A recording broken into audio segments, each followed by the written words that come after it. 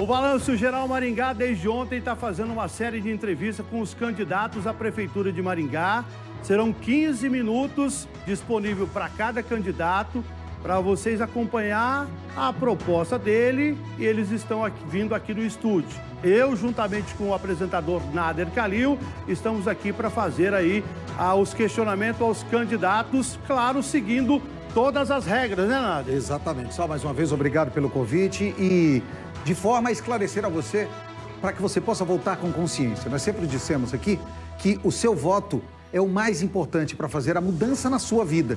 E é através dessa mudança que você pode buscar uma melhoria na saúde, na educação. E assim como você, eu também estou buscando escolher meu candidato. Porque pela primeira vez voto em Maringá. E essa sabatina vai servir para escolher o meu candidato, Sal. E hoje é dia da entrevista com o candidato a prefeito da cidade, Silvio Barros, do PP, que está aqui. Muito obrigado senhor ter vindo para a entrevista. Bom, Podemos começar?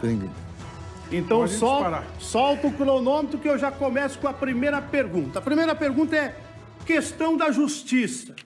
O senhor teve. Não, eu não vou sair candidato porque eu tenho problema na justiça, pelo menos era um comentário. Está tudo resolvido? Tem alguma questão ainda para resolver na justiça eleitoral? Como é que está isso? Não tem nenhum problema, está tudo resolvido, Salsicha. É, de fato, é, nunca houve uma preocupação da minha parte de não concorrer por questões é, ligadas à justiça. É, minha certidão estava totalmente em ordem e agora o promotor já deu o parecer favorável, a Justiça Eleitoral já a, a, homologou a minha candidatura, o meu registro, não há nenhum impedimento. Aquele assunto lá do Tribunal de, Regional, do Tribunal de Contas é, não, não cabia ineligibilidade. Aquilo foi um equívoco, está tudo certo, minha candidatura está firme e esperando a sua confiança e o seu voto. Quero aproveitar, o senhor fala muito nas entrevistas sobre o analfabetismo digital. O senhor tem conhecimento bastante sobre essa área? E o senhor fala no seu plano de governo da tecnologia no governo. Mas como implementar a tecnologia no governo, já que tem um custo alto, e também suprir essa falta de profissionais com conhecimento? Que nós temos um índice alto no analfabetismo digital. Como mudar isso? E também tem muitos idosos que não sabem mexer com o celular, com Exatamente. nada. Exatamente. Sabe que essa realidade está mudando muito rápido, né? Hoje é, tem muitos idosos que já não conseguem mais nem viver sem o celular e com o WhatsApp e daí por diante. Mas este assunto foi é, equacionado em vários lugares do mundo e a gente teve a oportunidade de conhecer isso. É um dos temas importantes que a ONU vem trabalhando, que é esse abismo digital, como superar esse abismo digital, que acontece entre países, mas também acontece dentro da cidade da gente. O que nós precisamos fazer é estimular as pessoas a aprenderem e oferecer a eles a opção do, do serviço digital e do serviço presencial mas com estrutura da prefeitura, descentralizando, por exemplo, a, a nossa praça de atendimento, para que em vários pontos da cidade as pessoas possam ir e não apenas pre, é, ter o serviço prestado pelo servidor, mas o servidor poder chegar num totem, num, num terminal e ensinar a pessoa a fazer. A pessoa não sabe fazer, ele vai lá e pede o serviço, o servidor vai prestar o serviço para ele, mas vai mostrar para ele como que faz. Talvez na segunda, terceira vez, ele já não vai Mas mais. nós teríamos recursos para isso, candidato? É, na verdade, nós não precisamos de recurso nenhum para isso. Os recursos tecnológicos já existem, os computadores já estão lá, os nossos servidores, funcionários públicos já prestam esse serviço no computador. Ele só precisa transferir esse know-how, esse conhecimento, para o nosso contribuinte e é um avanço que certamente vai melhorar muito a prestação de serviço. Logo, logo as pessoas vão poder ter todos os serviços públicos online, 24 horas por dia, 7 dias por semana, sem precisar ir na prefeitura. Vamos falar de obra. O senhor colocou no teu plano de governo que o senhor vai duplicar o contorno sul, do Cidade Alta até no Sarandi, vai duplicar a Paranavaí até lá embaixo, lá no final, perto do Ouro, do Ouro Cola, vai ligar aqui a Nildo Ribeiro com o Paysandu e vai fazer um tal de mergulhão na divisa Maringá-Sarandi. Vai ter norte. dinheiro para fazer tudo isso e como é que é esse mergulhão aí? Então, deixa eu explicar. Primeira coisa, não, não é do Cidade Alta até o Sarandi, é o contrário. Do Cidade Alta até a, a rodovia para Campo Mourão. Ah, lá na Polícia é, Rodoviária. Isto, que é onde nós temos as linhas de alta tensão com o espaço já disponível. Então, eu já estou conversando tanto com a Eletrosul quanto com a Copel para que a gente possa usar aquele espaço para a duplicação do contorno sul. É muito importante, isso é fundamental para salvar a vida de pessoas e para que a gente possa ter aquela região melhor atendida. Depois temos que fazer, sim, até o Sarandi. Vai dar um pouco mais de trabalho, porque ali não tem o espaço já, já preparado. Mas vai ter que ser feito. Agora, você perguntou se dá para fazer todas essas obras. É, se vai ter dinheiro. Tinha dinheiro para fazer um contorno norte que custou 400 milhões? Tinha dinheiro para fazer um rebaixamento da linha férrea na cidade inteira, que custou mais de 100 milhões? Não tinha, mas foi feito. Nós fizemos. Então, eu não tenho medo de sonhar grande, não. Eu acho que a cidade precisa ter coragem de fazer bons projetos e a gente precisa ter competência para ir buscar o dinheiro. Eu tenho certeza que a gente consegue. Até o senhor falou de obras e falou de empenhos e valores. Né? A gente tem o Eixo Monumental, que é uma obra empenhada, passa de 200 milhões. A primeira parte da obra na Catedral, que deve ficar pronta até novembro. O senhor vai dar continuidade nesse projeto? Construção do Museu Oscar Niemeyer com um anfiteatro? Olha, é, nada, eu, eu, é importante as pessoas entenderem, quem me conhece já sabe, mas você que talvez esteja me ouvindo agora pela primeira vez não sabe, eu não sou de descontinuar nada. O que começou tem que terminar. Recurso público da população tem que merecer respeito do gestor. Então, o que começou não pode ficar pelo meio do caminho, vai ter que terminar.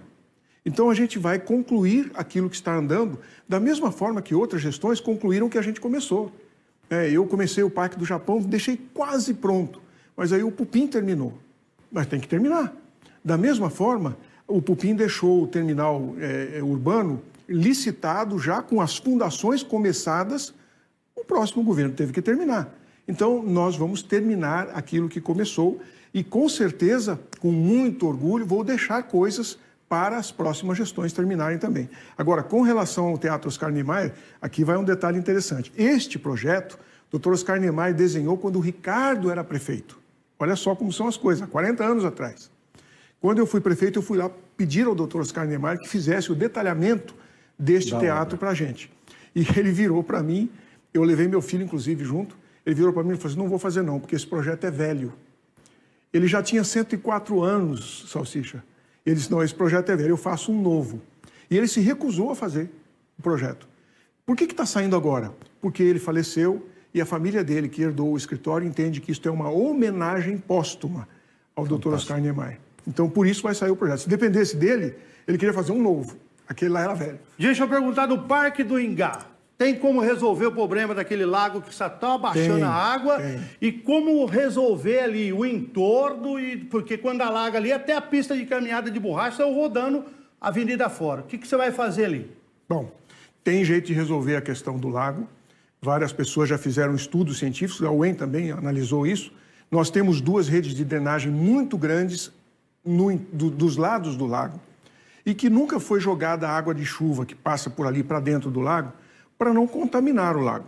Né? Então a gente não podia pegar um, uma água de chuva que lavou um asfalto com, com óleo, com sujeira, é, às vezes até com detritos, e jogar dentro do lago.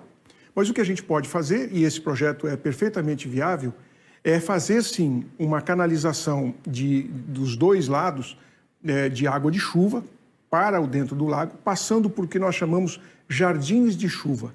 Esses jardins de chuva são sistemas de drenagem com plantas aquáticas que fazem a filtragem da água para que ela não chegue contaminada dentro do lago. Então é perfeitamente possível.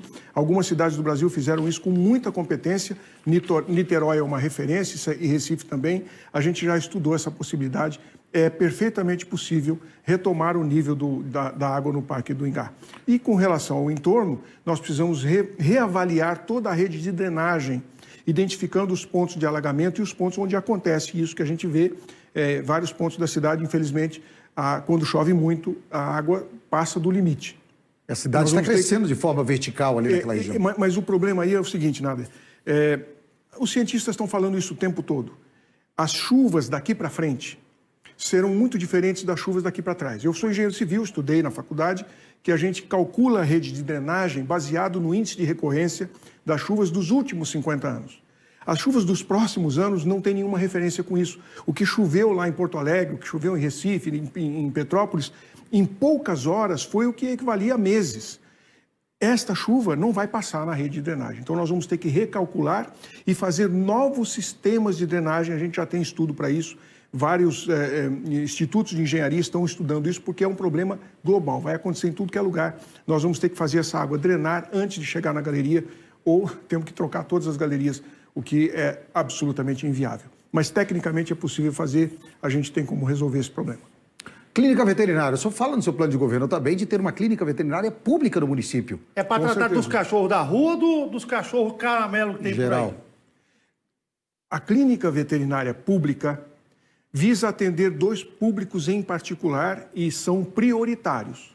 Primeiro, os protetores e as ONGs que fazem os abrigos de animais. Porque esses animais muitas vezes chegam ali doentes ou com algum problema de saúde, e como são muitos, elas protegem muitas, muitos animais, elas não têm condições de pagar esse tratamento. Então, essas pessoas fazem um serviço, elas prestam um serviço à comunidade e também a esses animais. Então, prioritariamente, a clínica pública atenderá estas pessoas, esses protetores e, e as ONGs, e, em segundo lugar, as pessoas de baixa renda, as pessoas que não têm recursos e, e não podem deixar o animal sofrendo, mas ele não tem dinheiro para ir numa clínica veterinária cuidar do seu animal. Então, esta clínica pública prioritariamente tratará destes dois públicos. Segurança. O senhor falou que vai colocar um módulo em Floriano, um módulo em Guatemi. Aí Maringá, o senhor vai resolver o problema da Cracolândia, que hoje as praças estão tá tomadas pelos usuários e pelos traficantes. Tem várias maneiras de resolver isso, mas eu quero deixar claro que quem vai nos auxiliar e nos orientar em relação a isso é o deputado Jacovós, que é, se prontificou com toda a sua experiência, 40 anos de experiência nessa área, em nos ajudar na política de eh, segurança pública. O deputado Soldado Adriano, que é o presidente da Comissão de Segurança Pública da Assembleia Legislativa, e Polícia Militar e Polícia Civil tem que ver com o governo do Estado, nós precisamos dessa ponte. Aqui também temos na Câmara a presidência da Comissão de Segurança Pública da Câmara de Vereadores, todos estão no nossa, na nossa coligação.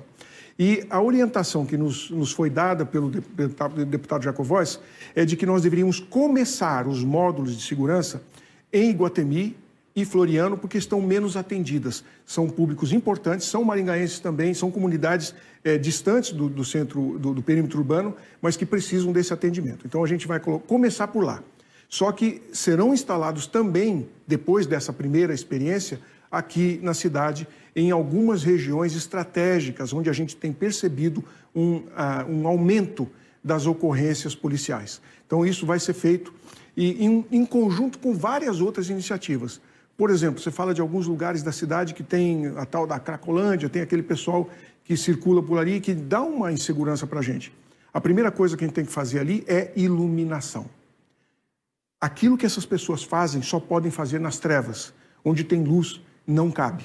Então, a iluminação por si só já vai nos ajudar a resolver um grande número de pontos que hoje nós consideramos perigosos, pontos de insegurança para a população. São combinações de serviços públicos que vão trabalhar de maneira integrada para o bem de Maringá. Candidato, só tem três minutos ali pontualmente. Eu vou englobar duas perguntas em uma para a gente tentar falar de creche, período integral, unidade básica de saúde e UPA. É possível? Vamos lá. É, Creches. Muita gente pergunta se vai continuar o sistema de compra de vagas em creches privadas. Sim, vai continuar, porque é muito mais rápido para a gente atender essa demanda do que o tempo de construir uma nova creche, fazer concurso, contratar pessoas.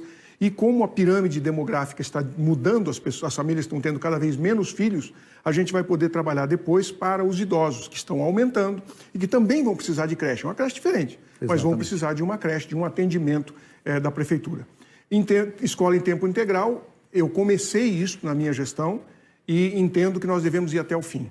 O máximo de escolas possíveis em tempo integral, permitindo apenas aqueles pais que não querem que o filho passe o tempo todo na escola, eles querem estabelecer esse grau de convivência em casa, eles têm o direito de fazer isso.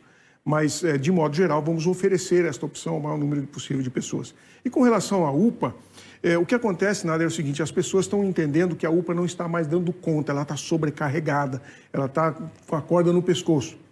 E nós estamos vendo, depois de discutir muito e de conhecer esse assunto com os profissionais, é que a UPA está sobrecarregada sim, porque o sistema de atenção básica não está dando conta. Então a pessoa fala assim: oh, o posto de saúde está fechado, e eu vou lá e não consigo resolver, eu vou direto então na UPA.